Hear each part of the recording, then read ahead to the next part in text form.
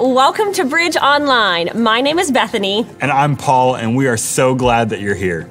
We'd love to know where you're tuning in from today, so let us know in the chat. That's right. Whether you're a regular here or this is your first time, you made a great decision to tune in today. We are a church that exists to see people be with Jesus and become like him for the sake of the world. And that's exactly what we're going to do today. Yeah, and as we dive into a time of God's Word today, we pray that it's a blessing to you and encourages us all to abide with and be transformed by Christ today and every day. And if it's your first time, we also are so glad that you're here. Would you let us know that you're here by doing one quick thing? Drop in a waving emoji in the chat, and one of our online hosts would love to say hey. And if you're not joining us for the first time, can you help me welcome everyone who is by giving them a big bridge welcome in the chat? Then, after you do, take a moment to share this stream with your family, your friends, because you never know who needs to hear this message today. All right, it's time to get started. As we head into the time of worship together, I'd encourage you to make your living room, your bedroom, your office, your dorm room, wherever you're at, a sanctuary where you can be fully present with God this morning. Set aside any distractions, get out a copy of God's Word, and maybe even a pen and a notebook so you can take notes as we go. That's right. Remember, we're not doing this alone. So at any time, let us know in the chat when something is encouraging you or stands out to you, because we're here to do this together and be on the journey of being with and becoming like Jesus. So, on that note, let's dive into worship.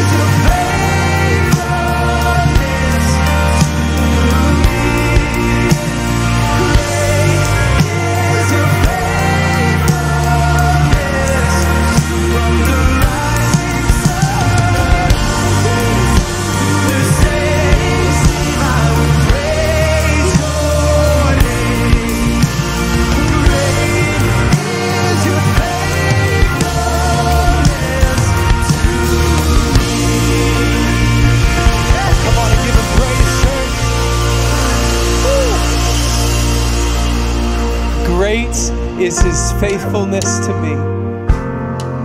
Great is his faithfulness to me. I don't know about you, but with the new year, I start to get all these new resolutions and all these new habits that I try to ingrain into my life and sustain them day by day. And sometimes it can become so easy to forget about his faithfulness to me because I'm so consumed with my faithfulness to him. Right? Like it's day eight of our Abide Bible reading plan. And guys, I haven't missed a day. but you see what I mean? It can be so easy to be so focused on my faithfulness to Him. But guys, can I just tell you, like, our faithfulness to Him pales in comparison to His faithfulness to us. Right? Like when we are unfaithful, He is still faithful. And it's that faithfulness that shapes everything about our lives. And so, church, as we begin the new year, can we one more time just praise Him and just say, Great is His faithfulness? Amen.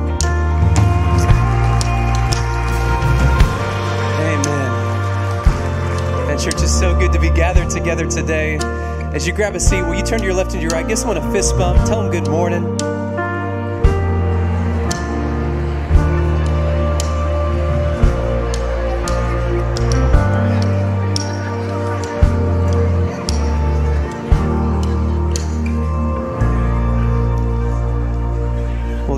Morning, everybody. Uh, I want to say hello to everyone that's joining us online as well. We're so glad that you're here. My name is Stone. If I haven't met you before, I would love the opportunity to get to meet you, especially if it's your first time here. I would love to say, hey, I'm going to be hanging out in that area of the back of the auditorium. It's something called our living room. It's where the couches are and the chairs. So come stop by, come say, hey. We'll love the opportunity to get to know you. And then if you want to get connected here around the bridge, it's pretty easy to do that. You can pull out your phone right now and you can just go to the link that's on the screen, bridge.tv slash next. It's a great next step to take today. That'll give you a link to our digital connect card that you can fill out at any time. And of course, there's a physical option that's in the seat back in front of you that you can fill out and then drop in the offering bucket when it comes down your row here in just a few minutes. Um, but it is January 8th. It is our first in person service of 2023. And with it, we are kicking off our season of 21 Days of Prayer. And uh, I'm really excited about this season. I know our staff is really excited. But even more than that, I think we're coming into this season with just a, uh, a sense of expectation. We're all just sitting back like, man, I, w- I wonder what God is going to do. And I, I want to read you a quote. It's from a, a guy named E.M. Bounds. Uh, the cool thing about him is he actually pastored a church up in Franklin in the late 1800s. And so he wrote 11 books, nine books on prayer. And uh, this is uh, just a sentence from one of those books. It says, Prayer should not be regarded as a duty which must be performed, but rather as a privilege to be enjoyed, a rare delight that is always revealing some new beauty. I think all of us fall into one of three camps. Prayer is either distant from our life, it's a duty in our life, or it is the delight of our life. And if we're honest, my hunch is that maybe a lot of us fall in those first two camps. It's either distant from our life uh, or it's simply a duty that we perform. And our hope is that over these next 21 days, that for all of us, that prayer would maybe for the first time or maybe just again become a delight in our life. And so that's 21 days of prayer. There's three components in 21 days of prayer. The first one kicks off tonight with a night of prayer and worship. Anyone excited about that? It's going to be a great night. It is tonight. It will be at 5 p.m. here in this building. We're really looking forward to it as both of our campuses come together, Columbia and Spring Hill, to worship here. By the way, anyone that's joined us online, if you're in the area, you're watching online this morning, get out of your room, get out of your dorm room, wherever you're at, come join us in person tonight at 5 p.m. It's going to be a great night. Uh, we've got childcare available for uh, your little ones birth through pre-K, and then any kids that are kindergarten and above. We're going to welcome them here in the auditorium so they get to worship together as our families. And so, uh, really looking forward to tonight. The second thing we're doing is we have a prayer room.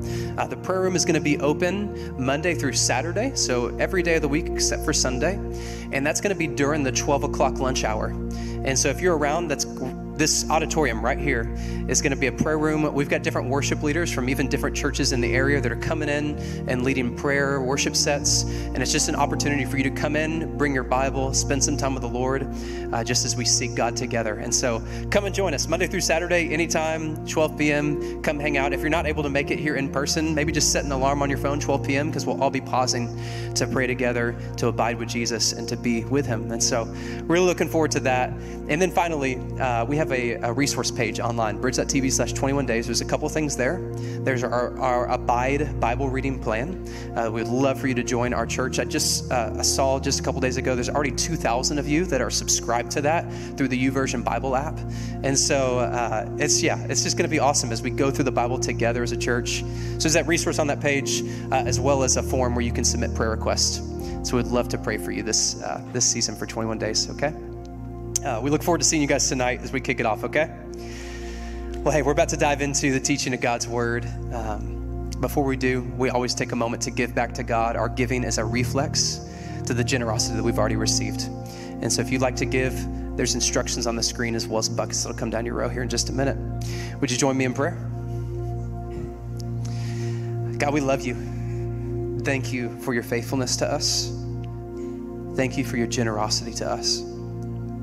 Thank you that we get to be a part of that and we get to give back to you. Use this for your glory and so that people would see what your love looks like in action. In your name, amen.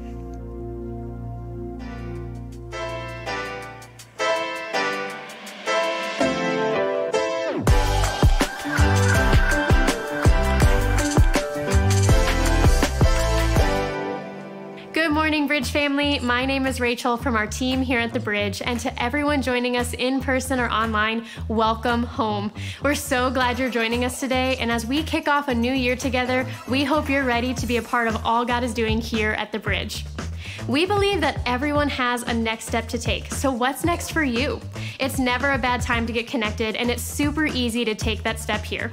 One of the best ways for you to get connected to what God has in store for you here at the Bridge is by joining us for Open House. It's coming up next Sunday, January 15th. And whether you're wanting to get connected for the first time or just get a deeper glimpse into the DNA of our church, it's the perfect way to jump in.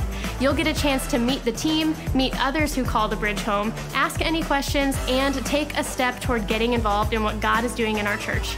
It's happening at both locations after services, and it's not too late to RSVP. Head on over to bridge.tv slash open house, and we'd love to save you a seat and see you there.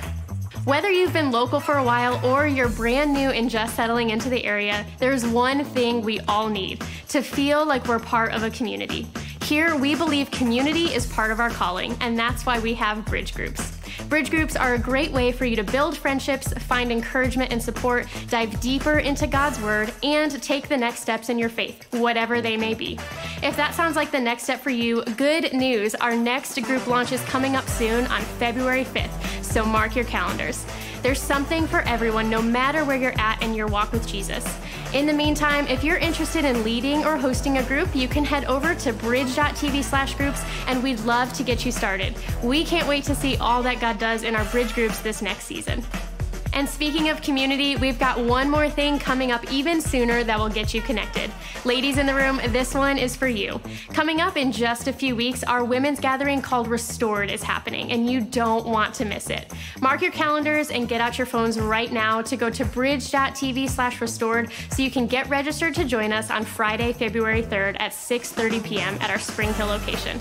We'll have a night filled with worship, prayer, encouragement, and of course, deeper connections with one another. We can't wait to gather, and we'd love to save you a seat. To all the kids joining us in person or online with your families today, we are so glad you're here. Parents, Bridge Kids is happening right now, and it's one of the best environments for your kids to learn about Jesus in the way they best understand and have a ton of fun while they do. We also have a family lounge with a live stream of the service, so if you need to step out for any reason, you won't miss a single thing. On that note, we know God has something special in store for us in His Word today, so grab your Bibles and let's prepare our hearts to receive. Well, good morning, Bridge family. I know, I'm, I'm disappointed too, okay? I got the call last night at 7:37 that Ian was sick, and I think I was third or fourth on the list because nobody else could do it. So that's how desperate they were. And uh, so I get to be with you this morning, and I'm super grateful to be here with you. Thank you. You know, life is all about expectations. So if you just keep low expectations, this will go very well. This will go well. All right. Hey, if uh, I want to give a shout out to our Columbia campus, it's great to have you guys with us. And if you're watching online, thanks for joining us. You know, one of the things I love uh, about the bridge is this commitment to prayer, and this next 21 day of prayer is going to be awesome. But uh, Ian, before he preaches, always asks or invites us to, if we're comfortable, to just pray and come to the Lord with open hands. So if you're comfortable doing that, let's just take a minute and pray. Lord, this posture of openness to you reflects the desire of our heart to receive what you would have for us, both individually and collectively. Lord, we're grateful that you're here with us. We've been reminded over this Christmas season that you are Emmanuel, God with us. And I pray this morning that you would give us a fresh perspective of who you are, a renewed uh, filling of your spirit, and a greater clarity of your love for us. In Jesus' name, amen. If you were to go and take a survey and ask people to describe what God is like, no doubt you would get a variety of different responses. I believe that our perspective of God, to a large extent, will determine the quality of our life. A.W. Tozer, in his book, The Knowledge of the Holy, he put it this way What comes into our minds when we think about God is the most important thing about us. The most important fact about any man is not what he at a given time may say or do, but what he in his deep heart conceives God to be like. We tend by a secret law of the soul to move toward our mental image of God. I've been a pastor for over 30 years, and during that time, I have met a lot of people who think that God, more than anything else, is just angry with them, that he's, he's standing in heaven, he's waiting for them to mess up so he can just throw a lightning bolt at them. And I'm here to tell you if that's your perception of God, it's a distortion. That is not who God is. And so this morning, I want us to take a look at a portrait of God as our Heavenly Father that Jesus Himself painted for us. It's in Luke chapter 15, verses 11 to 24. It's probably pretty familiar for most of you. It's called the prodigal son. So we're going to get started here in verse 11. Jesus continued There was a man who had two sons. The younger one said to his father, Father, give me my share of the estate. And so he divided his property between them. Not long after that, the younger son got together all that he had and he set off for a distant country and squandered his wealth in wild living. That, that Greek word there for wild uh, means essentially uh, this kind of madness that knows no bound. It's kind of like you've completely lost it. There's no restraint. That's kind of where this, this kid is at. Now, in order to understand what Jesus is getting at in this parable, it'll be really helpful for us to have a bit of background on the culture of the Middle East during Jesus' time. First of all, a son's inheritance was never distributed until his father had died. So, for the son to be demanding his inheritance at this point is essentially saying, I wish you were dead. This request uh, before the intended time would be considered one of the strongest forms of contempt and disrespect that a son could make. And the normal response of a Middle Eastern father would be to slap him across the face and throw him out of the home. But of course, that's what an earthly Middle Eastern father might do. But here we begin to see that this father that Jesus is describing is no earthly father. Instead, he's representing, the father in this story is representing the very character and nature of God. Four times in this story, Jesus will give us a glimpse of God as our Heavenly Father. Now, throughout the Gospels, Jesus refers to God as his Father. But in this parable, Jesus actually describes for us what he is like. And here's where we get our first glimpse of God. Number one is that God as Father allows people to reject him. The God who created the universe, the all powerful, the almighty God of creation, gives us the ability to reject him, gives us that free will. He won't violate anyone's freedom, even though he actually knows what's best for us. C.S. Lewis said, God cannot ravish, he can only woo. God won't manipulate or try to control us because he wants our love for him to come freely and without compulsion. Here's an interesting thing God allows us to actually hurt him. What greater pain can there be than the, to be rejected by those whom you love? And in the midst of God's desire to have a, a free and authentic, loving relationship with a person, He allows the freedom to slap His hand away. Because true love cannot be demanded, it must be given freely.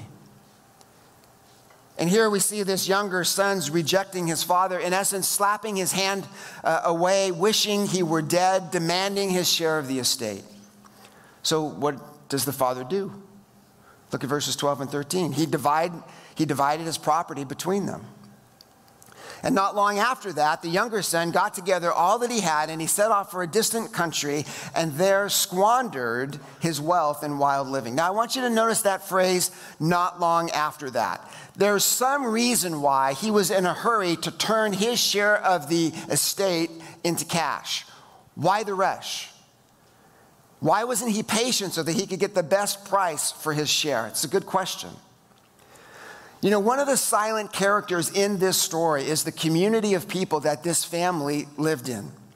And the son's haste must be understood in the context of what's going on and what would be going on in this community.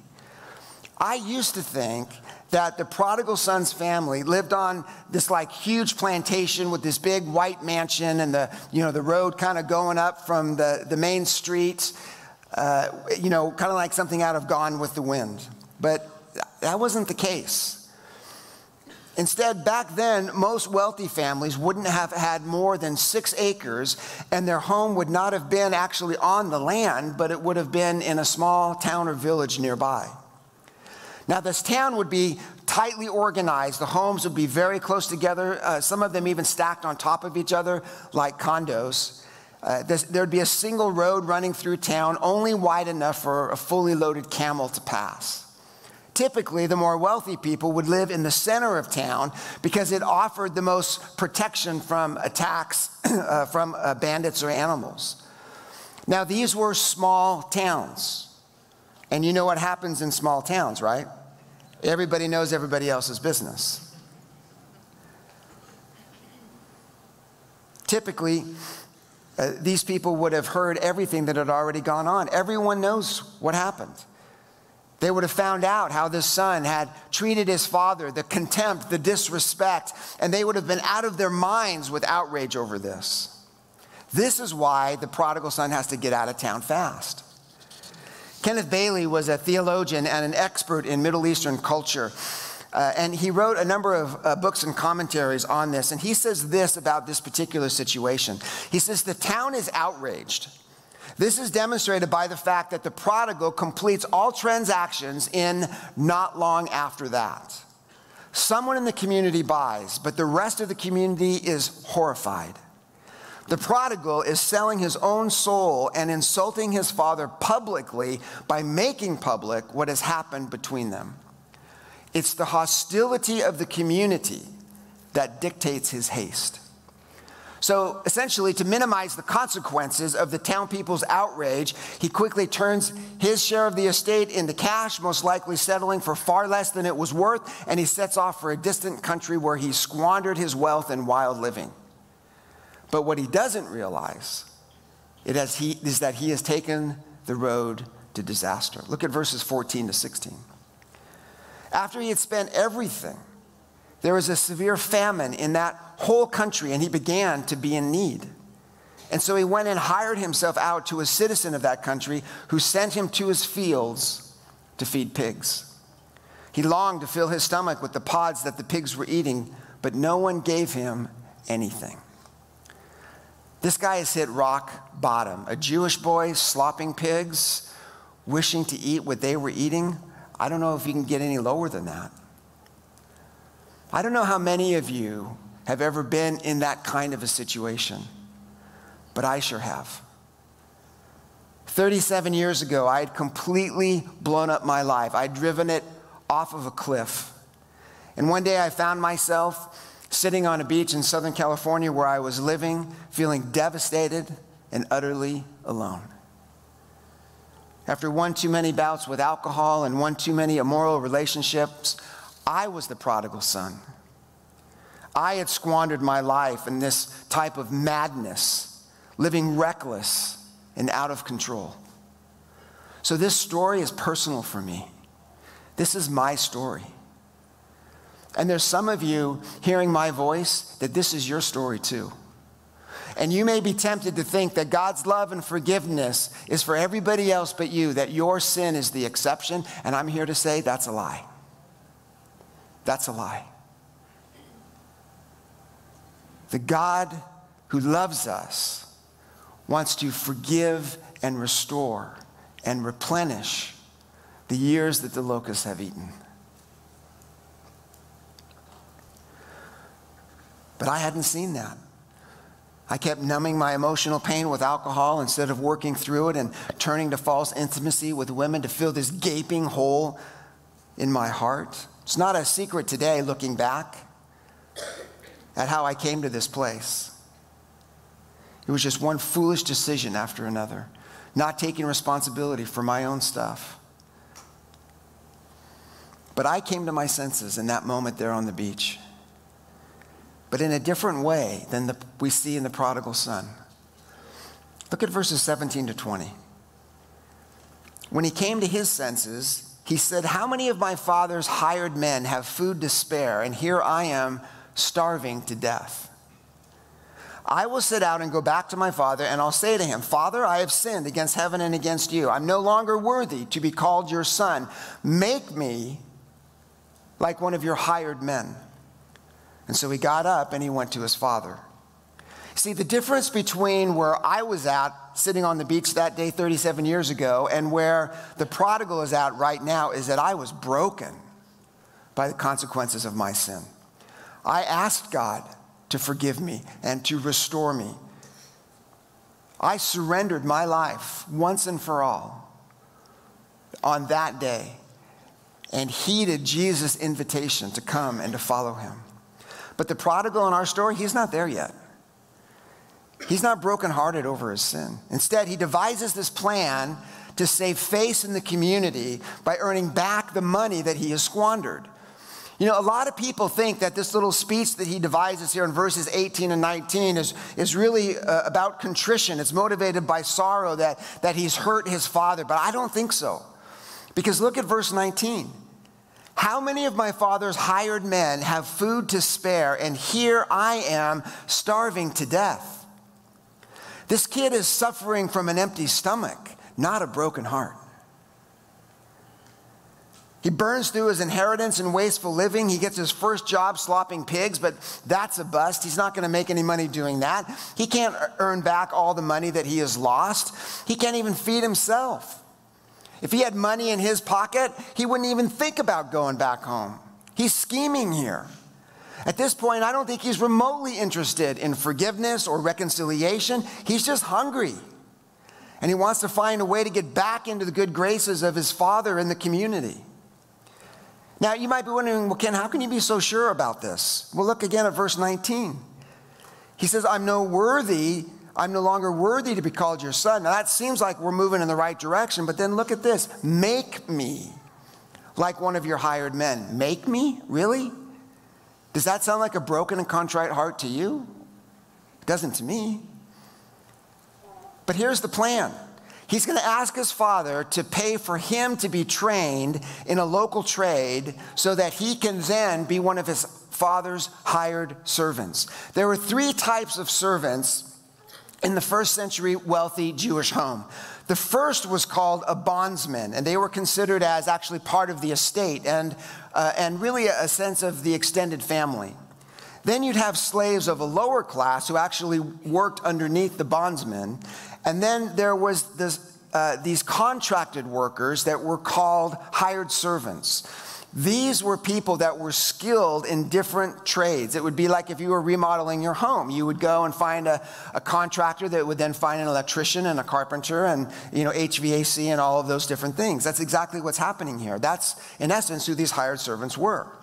So this kid was thinking essentially, uh, I won't ask to be restored as my father's son. That's not going to work. Instead, I'll ask him to pay for my schooling in some trade so that then I can earn back all the money that I've lost. I'll just pay him back a little over time. And that's going to make everything okay. It seemed like the best, the best plan to resolve his problems.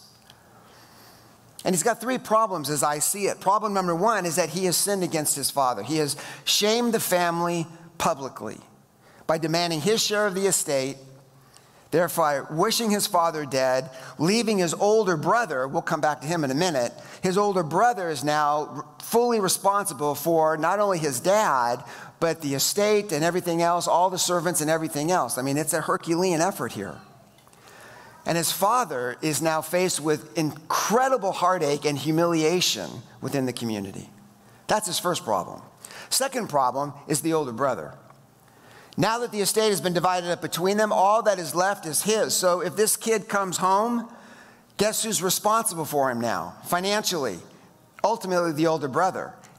That ain't gonna go well. And then the third problem is the community. Remember, communities in Middle Eastern culture in Jesus' day almost functioned like an extended family. They were horrified by the insolence of this son. They wouldn't want him back, not to mention the fact that for a Jewish son to go and lose his inheritance to a group of Gentiles would probably be one of the worst things that he could possibly do. The community would demand that he be shunned, completely cut off. In every conceivable way, he would be considered as dead to them. And good riddance. So if this son tries to return to the community, he could expect unbelievable harassment, physical abuse, and maybe even death at the hands of the townspeople. But if he comes back as a hired servant and convinces them of his intent to pay everything back, he might be forgiven and restored back into the community. This whole plan was about self atonement. It was about him fixing the mess himself. And it looked good on paper or parchment. The only wild card is his father. Would he agree to make him a hired servant? Would he agree to pay for his training in some trade? Would, would his father be able to secure him an apprentice position with another tradesman in the community? That was the thing he could not control. If his father refused, he was sunk. But if this plan did work, ah, then he could literally earn his way back into the good graces of everyone the father, his brother, and the community. So it was worth the risk. The only alternative was what? To starve to death. So he devises his plan in verse 20, and then it says he got up and he went to his father. And no doubt, as he's approaching the town, he's probably kind of psyching himself up for this reception, this vicious reception that he's going to receive. Maybe he's saying things like, okay, I can do this. Uh, a mob's going to form. Uh, they're going to, when they see me coming, and they're going to probably run out and spit on me and call me names and taunt me and ridicule me as a failure. Uh, most likely, they'll beat me with sticks, or worse, uh, they'll stone me to death for the shame that I have brought to my family and to our community. It's risky. But what other choice do I have? At least if I die now, it'll be quick. I won't have to starve to death in some pig pen in a distant country. But as the town comes into view, nothing could prepare him for what happened next. Look at verse 20. But while he was still a long way off, his father saw him and was filled with compassion for him. And he ran to his son and threw his arms around him and kissed him. Again, again, we got to understand this scene in this context of a, of a Middle Eastern culture. So let me just kind of break it down for you. The father sees his son while he's still far away. Was that an accident? Was the dad just kind of strolling that day and just happened to look up at the right moment and see his son? Kenneth Bailey answers our question. He says, The picture is not that of a father looking out through a window of a pillared mansion on the top of a hill who just happens to look up and see the approach of his long lost boy. Rather, we have the picture of a home in the middle of a traditional village facing a narrow street. The father, for months or years, has been watching the distant road as it approaches the town gate and becomes vill- the village street because he knows his son well and he knows he will fail. The father has been waiting, hoping, longing, praying, looking for the return of his son. And it's here that Jesus gives us this next glimpse of God that God as Father is waiting for us to turn to Him. God is not angry. The Bible tells us that there is no condemnation for those that are in Christ Jesus. Friends, Jesus has made available to us a life of abundance. Being a Christian isn't just about praying a prayer and going to heaven when you die. That's awesome.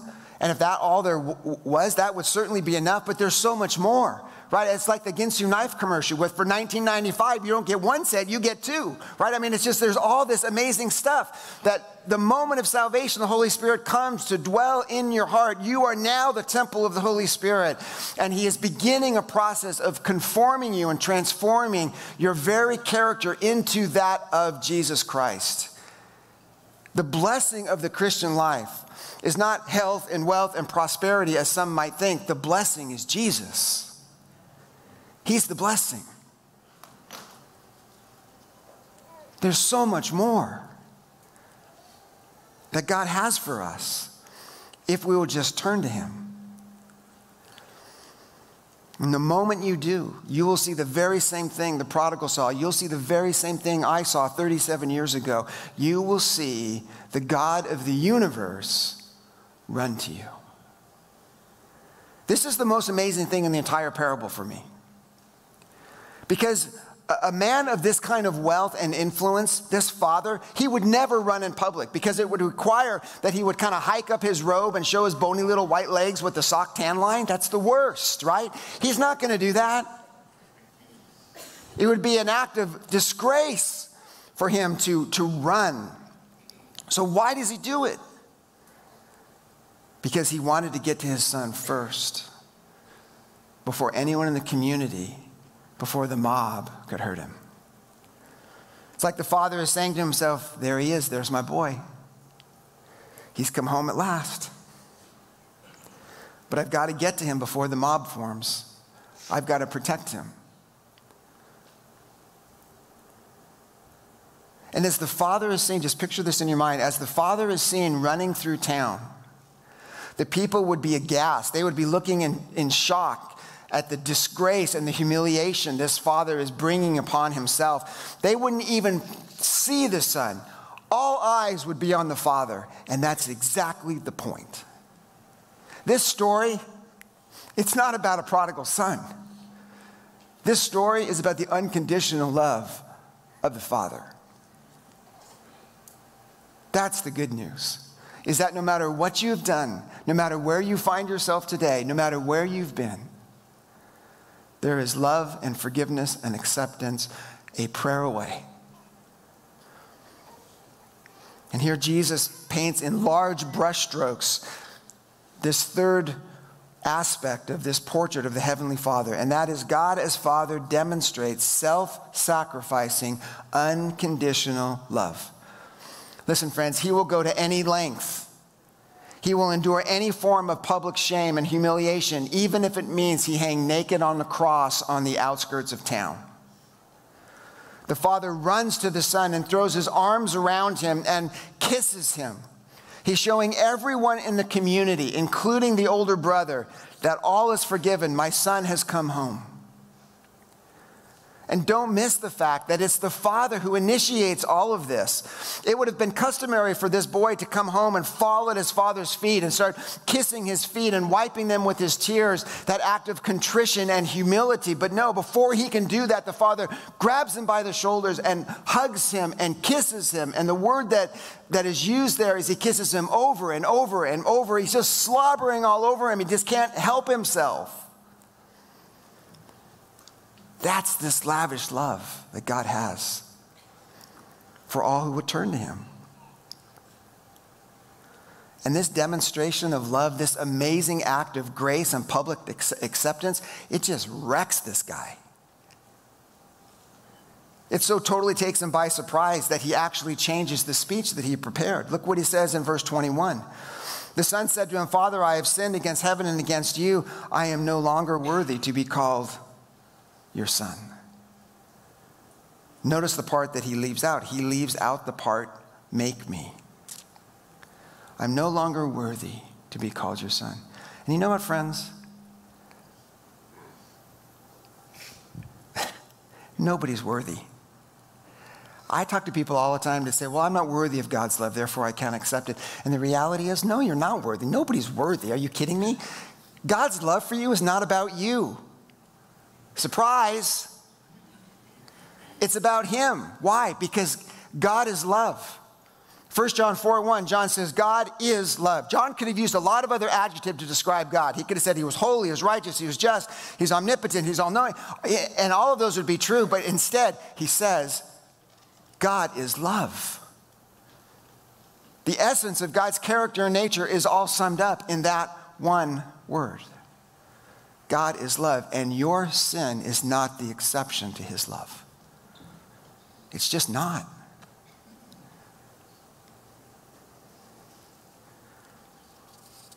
Kenneth Bailey writes that the son is shattered by his father's demonstration of love in this humiliation. And he sees that the point, it's not the money, but it's the it's the broken relationship that he can't heal. He can't fix that. And now he understands that any new relationship between he and his father is just a pure gift.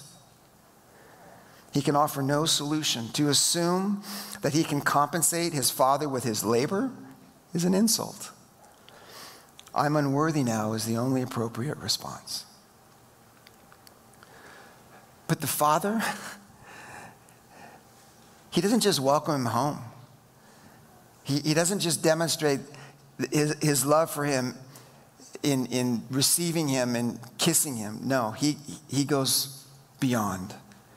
And this is where we get this final glimpse of God. God, as Father, is lavish in his love for us, extravagant.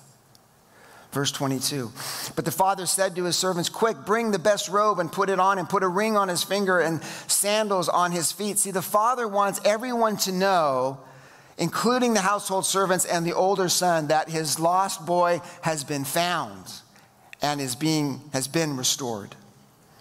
He doesn't even have the son get cleaned up. Can you imagine what he would have smelled like? He goes and has his best robe, the one he uses for celebrations and parties, to be put on his son. He puts a signet ring on his finger, which is essentially the family's Platinum American Express card. And he puts sandals, and he, that'd be nice, wouldn't it? He puts sandals on his feet.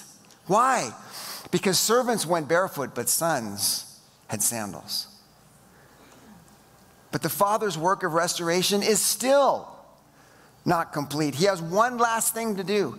He must restore his son back to this community. Verse 23 Bring the fatted calf and kill it. Let's have a feast and celebrate, for this son of mine was dead and is alive again. He was lost and is found. And so they began to celebrate. The reason the father doesn't have a, a, sheep or a goat slaughtered because that wouldn't have been enough food for the community. Instead, he has a calf which could have fed uh, at least 100 people. The purpose of the feast was to restore the son to the community. And now I think he gets it. This whole time, he's, he thinks it's about the money and about his father's reputation in the community. But that's not what his father wanted. Listen, friends, God doesn't need your money, He doesn't need your time, He doesn't need anything. All God wants is you. That's all He wants. Because when He has our heart, He has everything.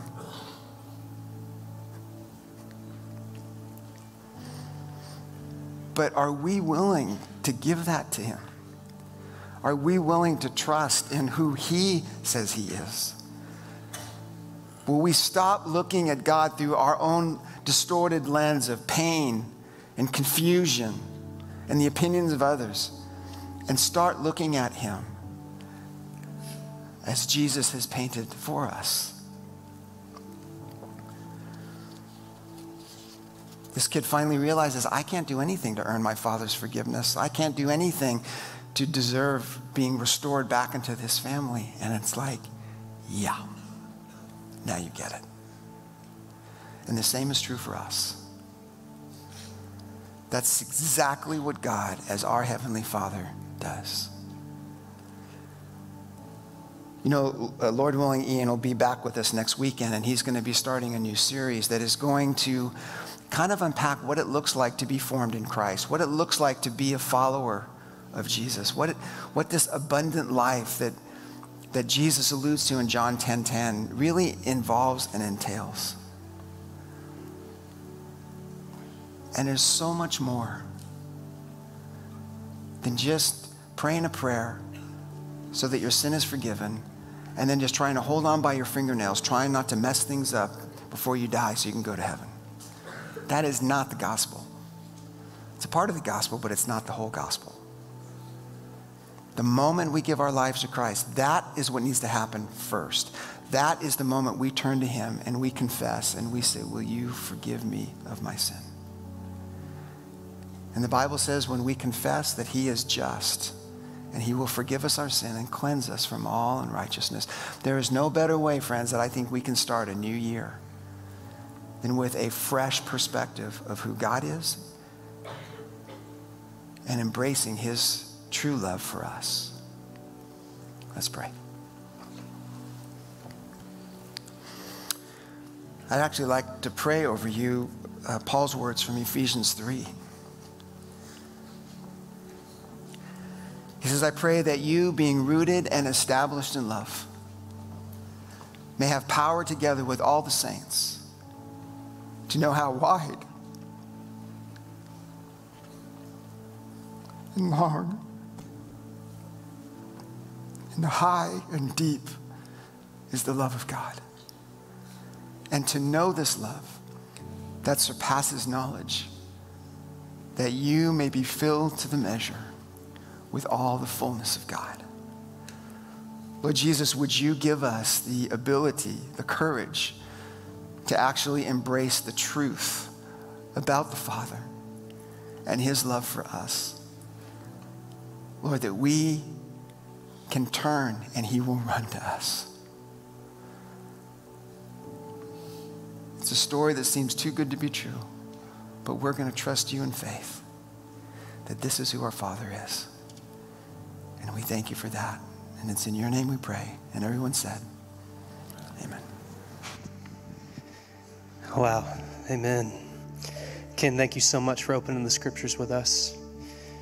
I can't think of a better way to respond than by receiving to communion together as a church family and remembering the sacrifice that Jesus made for us on the cross.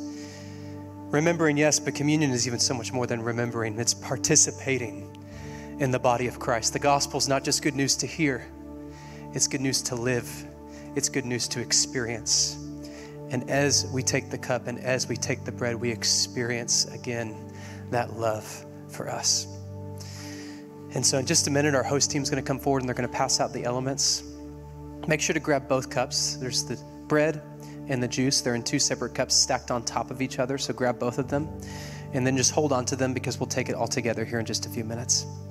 If you would, will you stand with me? And let's worship.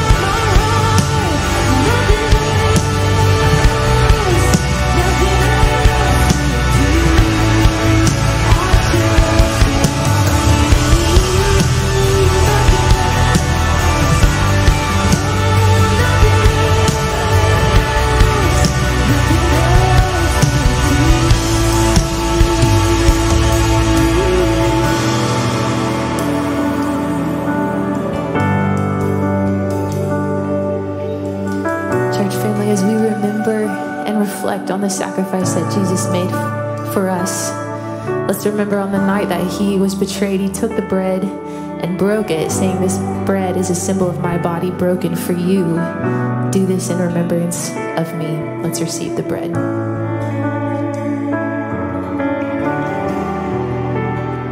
And in the same way, he took the cup and said, This cup is a symbol of my blood poured out for you for the forgiveness of your sins.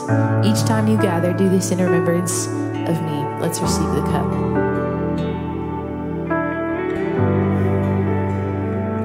We can, let's just sing this one more time together as we celebrate who Jesus is. I'm caught up in your presence. I just wanna sit here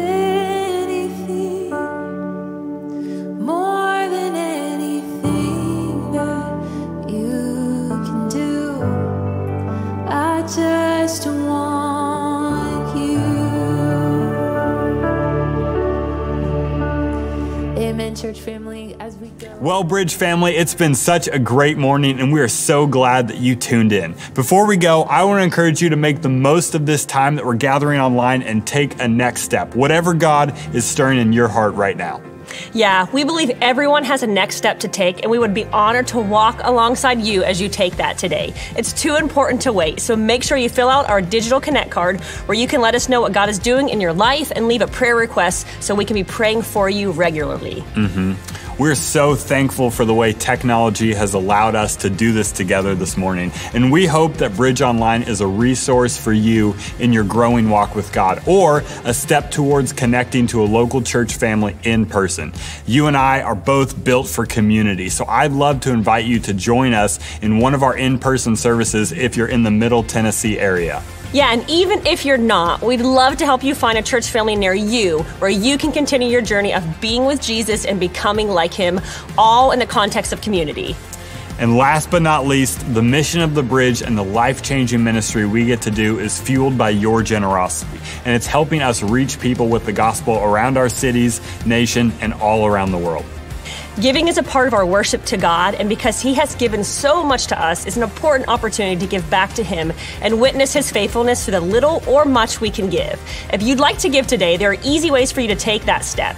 And if you have already given, thank you. We have one of the most generous churches, and we're so honored to be on mission together. One last time, at least for today, I'm so glad you joined us this morning. We love you and God loves you so much more. May we all be with Jesus and become more like him for the sake of the world. And we'll see you next week.